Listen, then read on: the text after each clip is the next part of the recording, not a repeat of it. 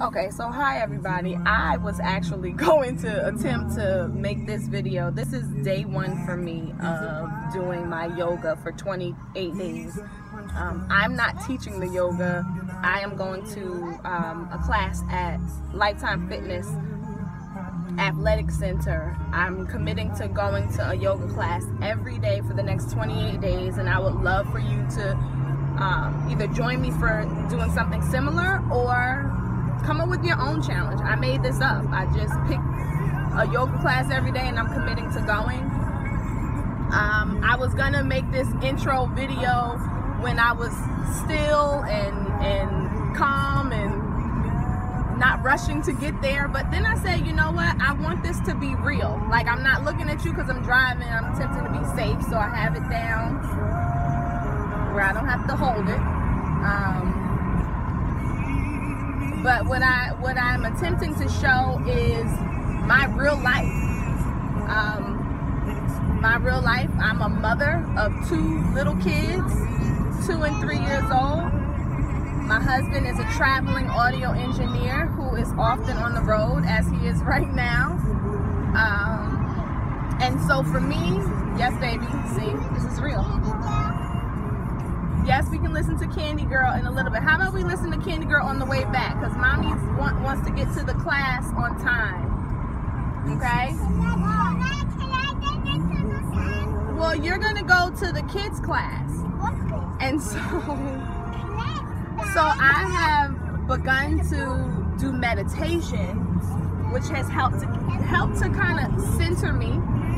Um, and I'm ready to take it to the next level. So let me roll this up. I'm ready to take it to the next level.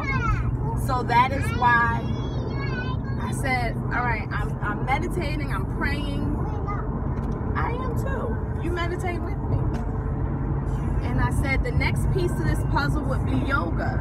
Because what I'm attempting to see for myself is after 28 days straight of meditating and prayer and yoga, will I notice a difference in my life in terms of balance? You know, I'm not looking for the physical fitness part. I'm going to be doing other stuff for that. So stay tuned for other um, videos and challenges that I'll be doing for that.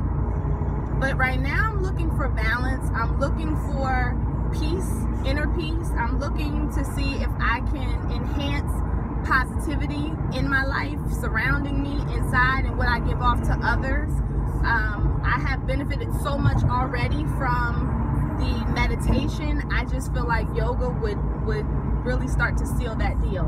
So I haven't decided if I'm going to do a video every day or every week or every other day.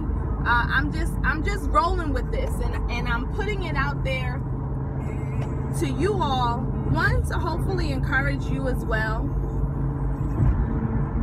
but two to hold myself accountable. I find that when you let people know what you're attempting to do, then it's easier, not it's not easy, but it's easier for you to attack it because people people are watching, people are seeing, and um, they can help to help to keep you accountable. So I am going to this class, and I will come back and and say how I feel after the first class and we'll go from there. So thank you all, whoever's watching this now, thank you so much for tuning in and for watching. And um, hope you continue to stay with me on my journey. And I'd love to hear about yours, and I'll go with you on yours. Have a great